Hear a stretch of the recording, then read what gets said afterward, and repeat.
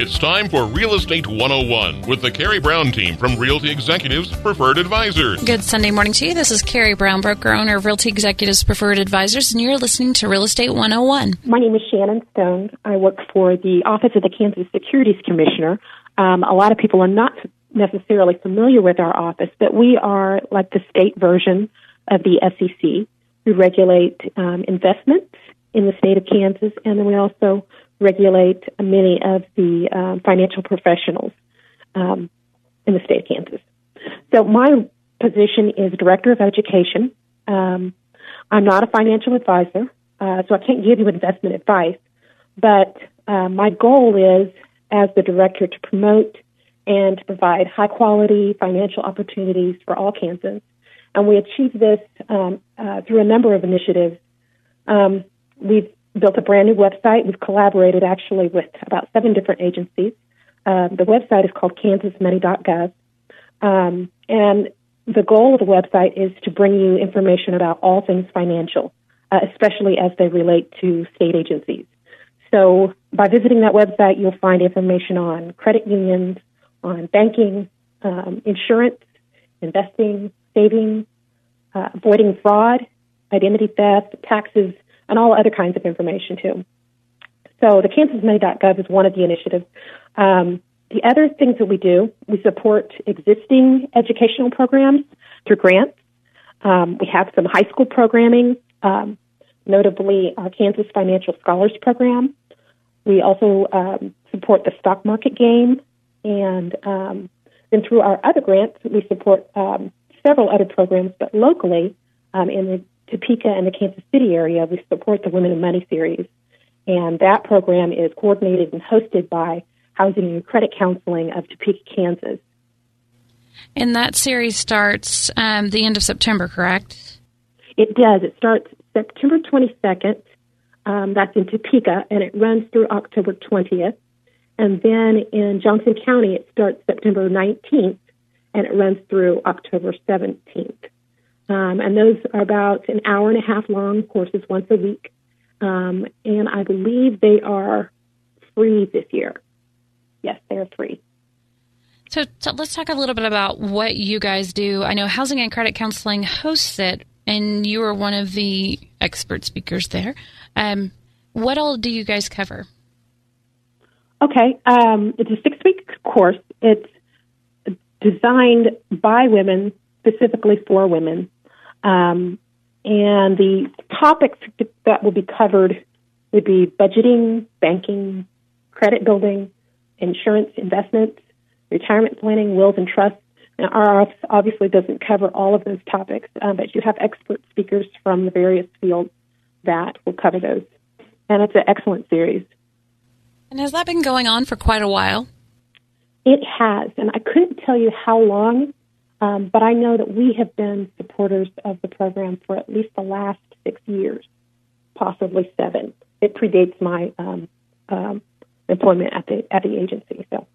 I, I just in working on this magazine, that was actually the first I'd heard of it, and I, I can imagine that I'd missed that. That's such a great opportunity for women. It really is. I, I think the Shawnee, um, the Topeka and Shawnee County Library also support that. We only expanded into Johnson County last year, um, and that has been a tremendous success. I think um, we usually have between uh, 200, probably around 200 or more women go through the program um, over the course of six weeks. Oh, wow. So, I quoted your stats on another show, but according to the Bank of Montreal Wealth Institute, women now control $14 trillion in personal wealth assets and that number is expected to rise to 22 trillion by 2020. That's just mm-hmm. impressive. Mm-hmm. Yeah, it is. Well, I think it's consistent with our um, uh, movement educationally outside of the home. Um, and a lot of women are now taking uh, they're they're the primary breadwinners in their home. So um, it is impressive. Shannon goes through the statistics on um, the in the magazine, talking about how you know how divorce does impact a woman's income by what 37%. Yes. Um, and that's a drop that's not in favor of. And women right. typically outlive men. Um, Nearly 700,000 women lose their husbands every year, and the median widowhood age is 59 years. Yeah, that's pretty young. It um, is Six years before the age of retirement. So um, a lot of times those are just completely unexpected events. And women need to be prepared financially for those kinds of life changing events. I know when my dad passed away, there was a lull there because my mom wasn't of retirement age. I'm thinking, I, actually. I think she was 58 whenever he passed. Mm-hmm. Um, oh. So you go that period of time, and and I always thought, well, whenever they passed, that you would get their Social Security income. Well, all her kids were grown, so there really mm-hmm. wasn't that coming in. So she was right. living on her own income. Right. And she's a teacher. Yeah. So. Oh. Yeah. I, I've been a teacher. I know that that's not easy. Yeah. Um. So that's a lot of things. Uh, you know, that's just information that I think is misguided to think, well, if your husband passes away, you would get income from him and really, if you didn't have life mm-hmm. insurance, you don't. Right, exactly. Or, or a pension. Right. Something through work. And yeah, then you've got to prepare, be prepared to pick up the reins. And that's, that is the case, you know, the vast majority, I think 95% of women is what the experts say, will at some point in their lives be required to um, manage, be completely in charge of all household finances. And so that's one of the reasons we really believe in this series, um, because it's preparing women for what is pretty much inevitable, especially the prior generation, um, women in, you know, 60, 50 and 60 years old. Maybe they didn't take care of the household finances. Um, that might have been something that their husbands also took care of. So we see a lot of women, we actually see young women and old, older women attending these events and all of them walking away with um, valuable information and saying that this was a good use of their time to attend the Women in Money series. Okay, Shannon, tell us more about what you do and what you would want the consumer to know. Okay. Another aim of the Investor Education Department is promoting the best practices and wise decision making when it comes to investing. We want people to be aware of the need to invest, especially women, since we have a, a unique set of circumstances that we face um, in our lives. But we also want people to be aware of the incidence of fraud and the warning signs, warning signs of a fraudulent investment. And so my colleague Kaylee Love and I um, provide a 45 minute presentation called Outsmarting Investment Fraud, where we teach people to recognize, refuse, and report investment fraud. Um, we do this all over the state of Kansas, and of course, it's a free presentation. So people just would need to contact us and, and uh, ask us to come, and we'll show up. So you actually go to where they are to speak? Yes. Okay. Yeah. And that's also a part of the Women in Money class that you guys do also? We present this, um, the Outsmarting Investment Fraud presentation at that series. It's not a part of Women in Money, though. Okay. Uh, just an initiative in our office.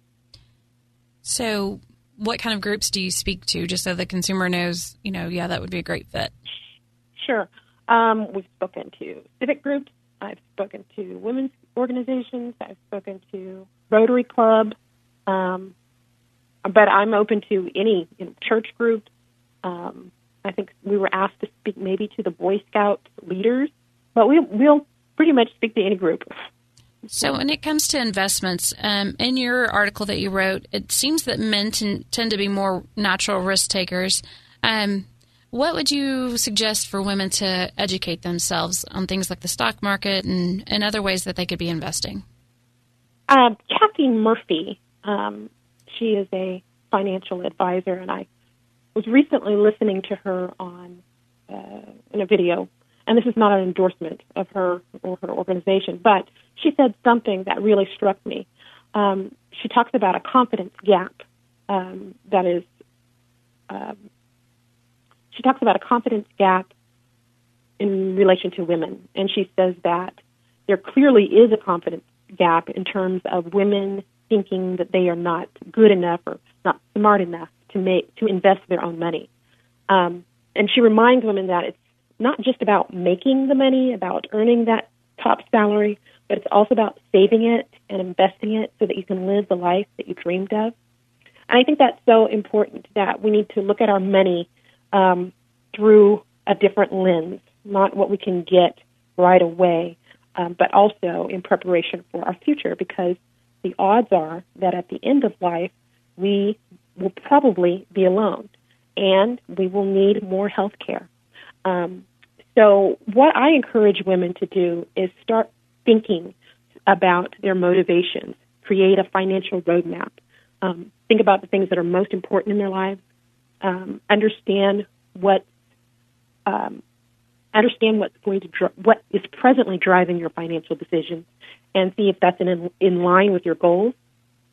Um, and then take a look at your values. Think about your values. What's going to bring you pleasure in life? What's um, what do you consider priceless? What do you care the most about? Um, and then also think about your goals. After you've looked at your values, then make those values um, measurable. And you've probably heard of SMART goals, where they're specific, they're measurable, they're attainable, realistic. Um, and then look at what do I need to do to accomplish these goals? What baby steps do I need to take? That's the starting place if you're not investing. And then start reading. And I encourage reading a variety of authors on the topics that you're interested in.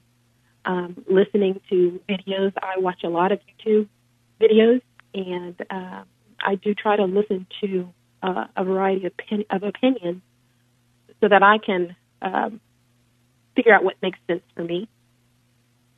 Um, there are a couple of websites that I would encourage someone to look at. Um, Investopedia is great just for getting the basics down. You will find a lot of ads in there, you know, on the sides of their pages, but the little videos that they present just uh, provide very a cl- clear understanding of the investment products and uh, the terms uh, that are usually a lot of times unfamiliar um, to us. Um, Morningstar also is uh, has some very good videos and also very good reading. They uh, their information is a little bit more advanced, but it's very good. And after you start listening and reading, you'll start to pick up some of these things um, where maybe you've had some confusion in the past. Of course, our website, kansasmoney.gov, is also another good place uh, to go. You can also, if, if you're considering um, hiring an investment professional or um, investing in something, you should always contact our office. Um, we can provide background information on the professional and make sure that the investment that you're looking at is registered because most all investments have to be registered with either the state or the SEC. I think one of the things that women can do um, is find out what are the behaviors of good investors. Um, when you're reading a book uh, or you're watching videos online, um, take mental notes about the behaviors of good investors. Um, one of the best practices is to make um, investing automatic. In other words, have it taken out of your paycheck regularly. Um, it takes some of the emotion out of investing. And um, when the markets are up or down, you won't be buying or selling at the wrong time um, because you are a steady investor. Um, you also want to research the person and the product um, or the investments that's being offered. You can do that through our office, um, the Office of the Kansas Securities Commissioner. Our, our phone number is 800 232 9580 if you have any questions. And you should always do that because you want to make sure that the investment that you're being offered is not fraudulent. Most people begin investing through a 401k or 403b at their workplace. But even if that option isn't available to you, you can also open a traditional um, IRA or a Roth IRA. Um, so don't let that be an excuse for not investing. Um, when you do begin investing, sometimes I think women look at the challenge because you have, you know, what product to invest in, uh, who to invest with, um, advice on all sides. And um, the challenge is that sometimes we get too many options. And researchers say that when this happens, a lot of times people decide not to choose or not to play. But we shouldn't let this be the case because investing is so critical, um, especially for our future, for women's future. we need to have a plan um, for our money. We women really just need to save smarter and they need to invest smarter and probably a little more aggressively. And as we get more knowledge, um, we do very well. In fact, um, we often we compete well with men when we have more knowledge. We are focusing the month of May on a women's magazine that we've been putting together. Um, the whole purpose of the magazine is to help women, um, starting from young ladies through retirement, um, on how to plan, how to plan for real estate, how to plan for investments, um, entrepreneurs, all different types of aspects of just being a woman and um, starting as young as a teenager. So um, today we are talking with Andrea Engstrom, and she is a business coach. Andrea, good morning. Good morning. How are you? Good. How are you? Great. Thanks for having me. And Andrea uh, contributed. She is a business coach again, an agency founder. Um, she is with Action Coaching. And Andrea, let's talk a little bit about your con- contribution to the magazine and what you do. Sure. So I'm a business coach. I work with business owners to help them grow their business, make it more successful, improve their profitability, and create the life that they want as a business owner.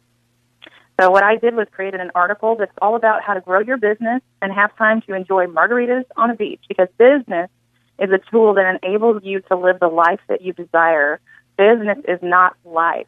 And so often what I find with business owners is that they find themselves consumed with the details of their business and putting out fires and so much of the day to day that um, it keeps them from really enjoying the things and all the reasons that they got into business in the first place, which is, you know, because they want freedom, they want to have more, you know, financial control, uh, and they want to be able to have fulfillment and do the things that really make them happy. Um, but they end up feeling a little overwhelmed, or that it, it's not exactly how they thought it might be when they first started dreaming about owning a business. I can verify that that is actually true. you spend a lot of your time, um, if you're not actually working in the business, you're thinking about the business. So then you miss the whole aspect of, you know, your kids yeah. and being able to enjoy that and, you know, your husband or your wife or whatever. Um, so I can totally relate to this article. Absolutely. And, you know, running a business and having your own business can be so rewarding, but it can also be very overwhelming. So we want to help people create a life and a business that they love. And the way that we do that is by helping them know what the highest priorities are as a business owner that they need to focus on. And what are the key strategies that if they do those things, it will help them have the control in their business that they want, um, the steady stream of really good clients that they want to work with so they're not chasing their tail working with folks that, that it's not really who they had in mind when they first started thinking about who they wanted to serve. So helping people really connect with the best strategies that will get them the results that they want. Because if you if you have clarity on what those best strategies are and can laser focus on doing those things, then the other things start to fall into place.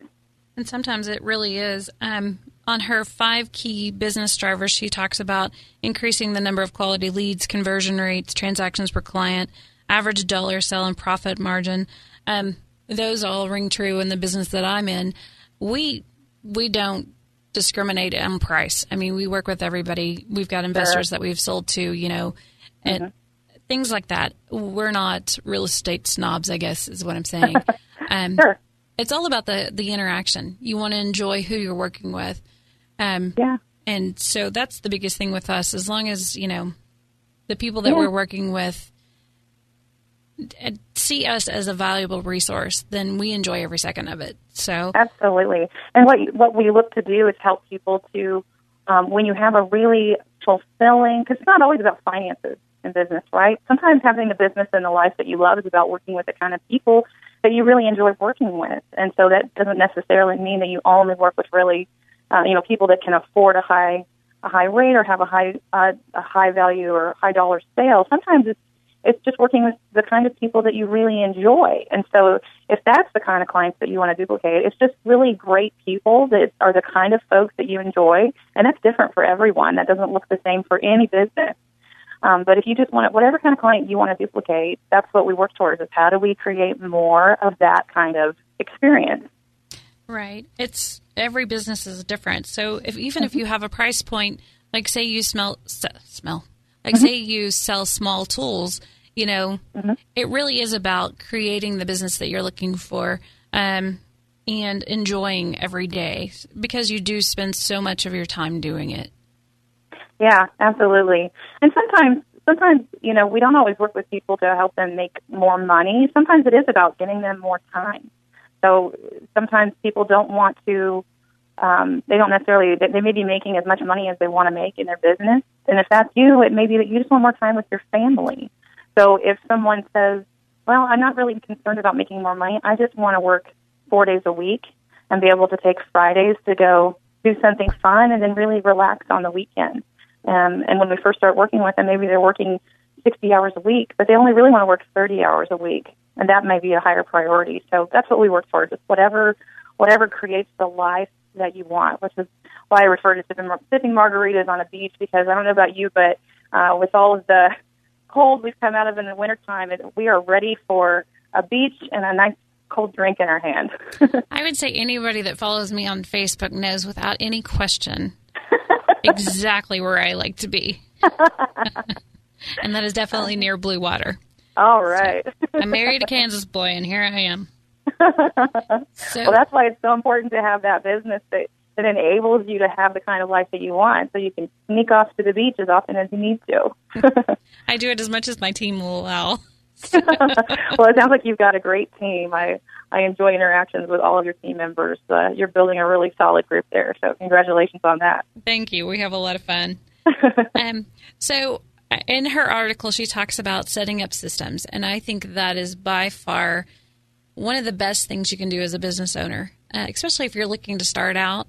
Mm-hmm. Your database is everything, and making sure that you can track it and mm-hmm. and get all of that together. That was one of the things that someone told me when I first got in, and then I just never really heard it again.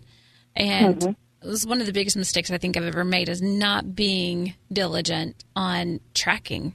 Mm-hmm. Um, you know, I remember faces. I don't necessarily remember names, but I remember addresses. I can uh-huh. tell you what your house looked like when you bought it. I can tell uh-huh. you what you did to it after you moved in. Um, but and I know when I see you in the grocery store that I know you and how I know you. But uh-huh. I'm horrible with names. Mm-hmm. like, I need well, and you probably system. yeah, if, and you probably don't. Uh, you're probably equally bad with uh, email addresses. Most of us have to use tools and systems to be able to keep in touch with, keep keep track of our our relationships, and even not client relationships, just the folks that that we want to stay in touch with, that may maybe would be good strategic partners that we meet with on a regular basis. Those are the things that create long term success, and so having a way to systematically uh, follow up with people in an organized way. And, and that's also one of those things with CRM and systems and things like that, which CRM, for those of you that don't have one, um, it's a it's a client relationship management tool or a customer customer relationship management tool um, that enables you to also, as you grow your business, to be able to delegate some of that function of um, sending a quick message to someone. It doesn't the person doesn't have to be in your phone or in your head. It can be in a system that's tracking your your interactions with them, and you can have a team member that helps you with that if you have a good system. Otherwise, you have to do it all yourself, don't you? Exactly. Yeah. yeah. So, um, what would be your advice to women? Say they've been tossing around the aspect of being self-employed and mm-hmm. and starting in a, a business. What would be your advice for that? My my biggest piece of advice when you're thinking of starting out a business is to don't jump ship from something that's very um, secure until you ha- kind of have your foot on a dock or something like that. So don't don't quit your day job to go after your dream until you have something in place that allows you to have some kind of means of supporting yourself. So what I see often, very often, is someone starting a new business that is undercapitalized, and they just start drowning and panicking and then they have to go back and get another job. But the people that um, create some uh, financial security for themselves um, and then create a good plan and do some feasibility study with it to determine that it's going to be a, a viable business opportunity, um, those are the people that have set themselves up to win. So being really clear about who they're going to serve, what they're going to offer, um, knowing that there that there's a need for what they're doing in the marketplace, And I would look to how can you how can you dip your toe in and test this before you completely jump ship? Because you might learn a lot from that first couple of interactions, but I like to encourage people to get a few clients, make a few sales that give you the confidence that you're going to be able to replace your own income. And that way you're setting yourself up for success. A lot of times people chasing a dream will completely jump ship and then they just start to, to drown. So set yourself up to have a secure footing and then you can um, then you can create those systems as you go and you don't feel like you're in panic mode all the time and most businesses that fail are because they're undercapitalized. So don't um, don't jump ship until you you know you've got some good some good footing under you on the the next place that you're going to land. Exactly. A lot of people say, "Well, I want to get into real estate. Um, mm-hmm. You know, mm-hmm. what should yeah. I do?" And my advice is always hold on to that job until you've got enough built up. Um, yeah. You need yeah. to have six months worth of savings at least before you mm-hmm. take that jump because yeah if you're not on a team that's just handing you leads, kind of like how what we do, um, sure. it is hard. I mean, I I went into real estate and I wasn't on a team and I was by mm-hmm. myself and and it is actually really difficult. It takes a good two years to mm-hmm. have that substantial um, clientele. You know, if mm-hmm. you may know a hundred people or five hundred people, but what are the chances that they're all going to move? You know, or right. that any of them are going to move? Quite frankly, and then they always have relationships. So if they love their real estate agent from before, what's the chances that they're going to use you? You're brand new, you know. Uh-huh. So you've got to overcome all those obstacles and get get all that down before you take that big leap. Mhm. Yeah, and, and it's great to talk to people who have gone down the path ahead of you. So look for good mentors, look for good advisors who can give you good advice and help you to um, overcome challenges before that you're faced with that challenge, and that can help you make decisions about how you set things up in the first place. So, like we talked about with having your systems in place with that, that CRM and making sure you're tracking all your leads, um, if you can talk to people who have said, you know what, the one biggest mistake I made when I went into business is I didn't keep track of all of those important relationships from the very start. And now, three years later, um, I'm, I'm looking back wishing I had done that because that might have accelerated my success. So look look to people for for good advice. Um, there's lots of great resources in our community, and as well as just other smart ladies who can give you good advice about um, being a, a woman in business and um, how to move up either that move up the ladder or um, move into the kind of career that you want to create for yourself, owning your own business. That makes total sense. And, you know, I'm always open if you're looking to get into real estate if you have questions. Feel free to ask yeah. me. I'm kind of an open book. So, yeah, um, yeah. Well, I'm same here. If, if somebody's looking to get into business who's listening today, if if you'd like to get together for a margarita or a cup of coffee, I, I love to talk about your ideas and understand what's happening um, in your situation and see if there's anything that I can do to help you. I'm, I'm, I love connecting people with good resources to help them be successful. And so, again, Andrea, tell them how they can get a hold of you. All right. The best way to get a hold of me is to shoot me an email. My email address is Andrea Engstrom at actioncoach.com. Um, or if you want to reach me through my ad agency, our website is uh, bajillion.com. And is there a phone number that they should call? Um, sure. The best phone number for me is 785 408 5927. And thank you so much, Andrea, for being on the show and for con- contributing to the magazine. Um, again, the magazine, the purpose of it is to cover all different types of avenues that either we've had women ask about or that we've noticed that there's a need for, starting from uh, like your teenage daughter up through your mother's retirement. Um, just in your own retirement and planning for it and just just having a plan we go through all different types of aspects including real estate um, so if you have any questions or would like to see the magazine or have a hard copy, that should be out about May 15th. The digital version will be on our website at topekahomeadvisors.com and it'll be on our Facebook page, which is Realty Executives Preferred Advisors. And again, thank you so much for listening to Real Estate 101. Thank you for listening to Real Estate 101 with the Karey Brown team from Realty Executives Preferred Advisors. Tune in again next Sunday at 11 o'clock for Real Estate 101.